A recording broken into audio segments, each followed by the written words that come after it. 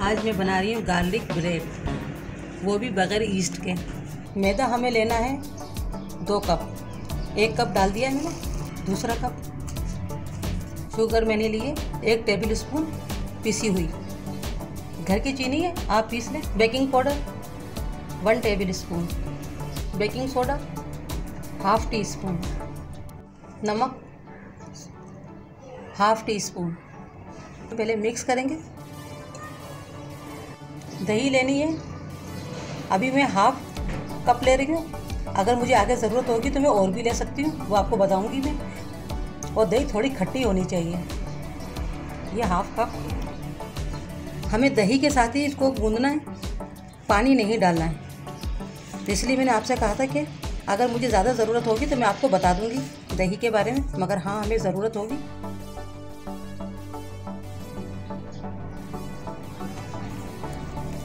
क्योंकि हमें soft dough बनानी है।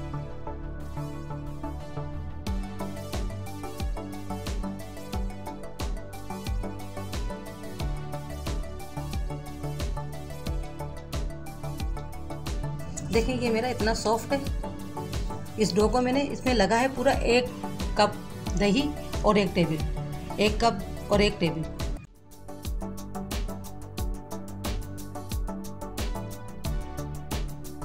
मेल्टेड बटर डाला है मैंने अभी, एक टेबल, एक चम्मच डाला है।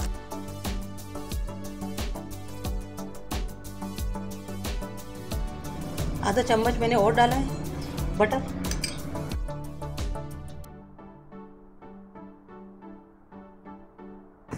ये मैंने सात आठ मिनट गूंद लिया है आटे को और अब इसे मैं रेस्ट करने के लिए रख रही हूँ, तकरीबन 40 मिनट के लिए। ये आटा हमारा तैयार हो चुका है। डेढ़ चम्मच मैंने आपको चम्मच दिखाया है, ये चम्मच है। डेढ़ चम्मच हमारा लगा है बटर जो मेरा पिघला हुआ है। ये लगा है और अब इसे मैं 40 मिनट के लिए रख रही हूँ। अच्छे से कवर करके रख दें।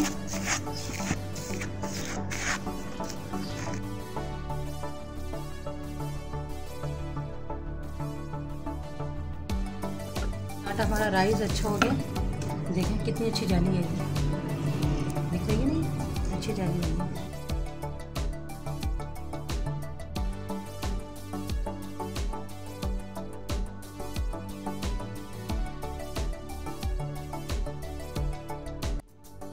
इसमें हम दो बनाएँगे।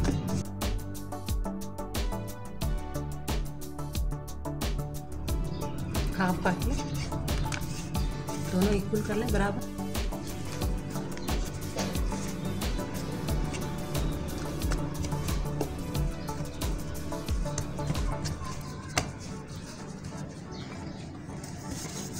इसे इस तरह से हाथ से भी बड़ा कर सकते हैं और इसे बेल कर भी बड़ा कर सकते हैं। जो आपको इजीली लगे, आप वो कीजिए।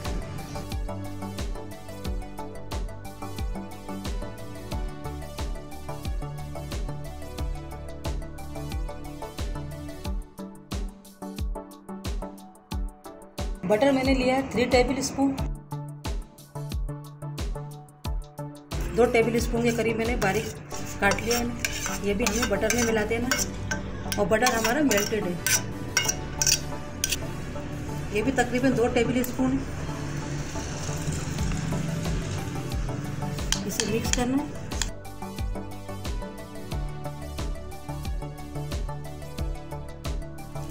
हमारा बटर जो है अनसॉल्टेड है। थोड़ा सा मैं इसमें नमक भी डालूँगी, ताकि टेस्ट अच्छा है।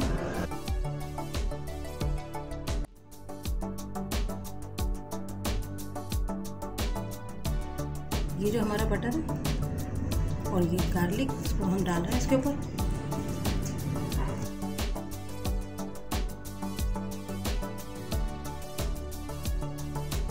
आप इसमें मोजरेला चीज़ चेडर चीज़ भी डाल सकती हैं, मगर मैं यहाँ डाल रही हूँ क्रीम मायोनीस ये मेरी होममेड है और इसकी रेसिपी मेरे चैनल पे है, आप देख सकते हैं। मैं लिंक दे दूँगी। आप इस जगह पे अगर चाहें तो मोजरेला चीज़ और चेडर चीज़ डाल सकते हैं। ये मैं डोमिनो स्टाइल से बना रही हूँ, मगर थोड़ा सा अपना टेस्ट देकर। ये टेस्ट बहुत पसंद आएगा। ये मैं ब्लैक पेपर डाल रही हूँ, एक चुटकी। चिली फ्लेक ये भी ज़्यादा नहीं डाल रही। तकरीबन एक पिंच के करीब है। ओरिगानो।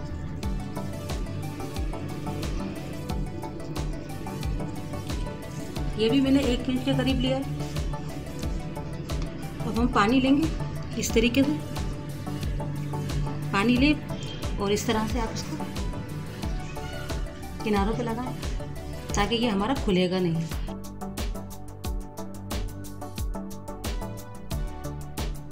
इसे इस तरह पकड़े इस तरह से इसको दबा दें।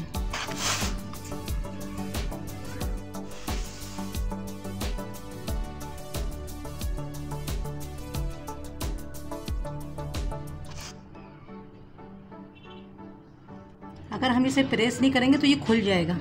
उल्टी छुरी लें।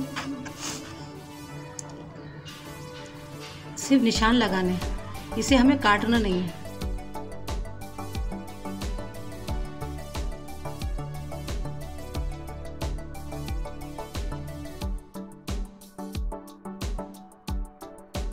अभी गार्लिक पेस्ट हम ऊपर फिर लगाएँगे। थोड़ा सा हम क्रीम मायोनीज लगाएँगे। इससे जायका बहुत अच्छा आएगा। अगर आपके पास एक मायोनीज है तो आप वो भी इस्तेमाल कर सकती हैं। थोड़ा मेल्ट करें। जो बटर के साथ ये बहुत अच्छा टेस्ट देगा। इसे हम इस तरह से। अब हमें इसे स्लो हीट के ऊपर तकरीबन पाँच मिनट तक एक ही तरफ़ पकाना है।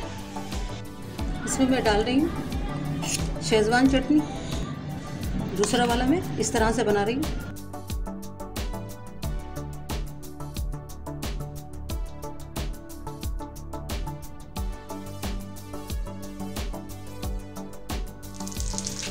ये देखें हमारा कितना डबल हो चुका है। अब इसे में पाँच मिनट हो चुके हैं। अब मैं इसे टर्न करूँगी। आप पलट दें इसको। बड़े आराम से पलटिएगा। देखिए, कितना खूबसूरत कलर है।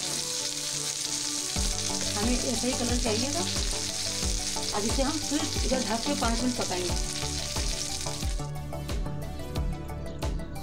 ये मैंने दूसरा वाला बनाया।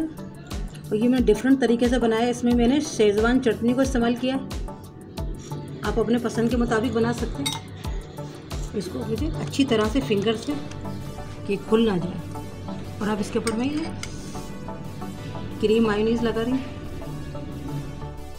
इधर से भी हमें तकरीबन चार मिनट हो चुके हैं। इसे हम चेक कर लेते हैं। इधर से भी कलर हमारा अच्छा है। अब इसे हम इस तरीके से बड़े एहतियात के साथ करना ये काम। इस तरह से पकड़ेंगे और इसको हम इस तरह से सेकेंगे। इस तरह से हम इसको सेकेंगे, ताकि ये हर तरफ़ से सीख जाए। और दूसरा वाला मैंने आपको बताया है कि दूसरे वाले में मैंने शेजवान चटनी डाली है। और ये जो मैंने बनाया है क्रीम मायोनीस बहुत मज़े का बनता है। जो लोग अंडा इस्तेमाल नहीं करते हैं, उनको पसंद नहीं है मायोनीस इस तरह का, वो ये बनाएँ और खाएँ। बहुत पसंद आएगा आपको। ये देखिए हमारा, यहाँ से भी सीख चुका है। इसे मैं अब निकाल रही हूँ। इसी तरह से मैं दूसरा भी तैयार कर लेती हूँ। फिर मैं आपको दिखाती हूँ। अब मैं दूसरा तैयार कर रही हूँ और वो मैं आपको बनाकर दिखाती हूँ।